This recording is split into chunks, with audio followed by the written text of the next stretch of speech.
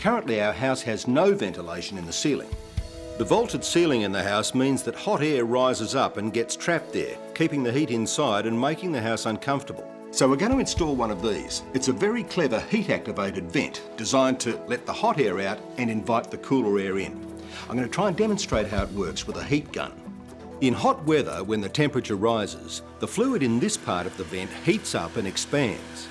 This opens the butterfly and lets the hot air out, inviting cooler air into the house.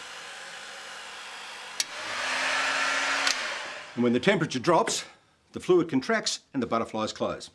Let's go and fit it and see how it works on the job. Big Dave, he's got all the right safety gear on. You know how to fit one of these? Yep. Ah, thank you. The vent is fairly simple to install, but if in doubt, use a qualified tradesperson. Once the opening is cut, Dave fixes the vent into place using self-drilling screws. The vent will operate in hot weather.